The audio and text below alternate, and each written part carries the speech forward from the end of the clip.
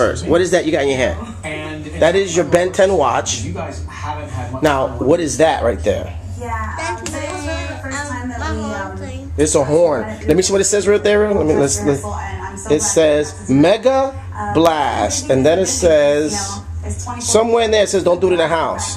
Let's show them why not to do it in the house. Thank you God, they don't just throw us into the water. Like they help us out. It's scaring you. Look at your eyes. part of Michelle.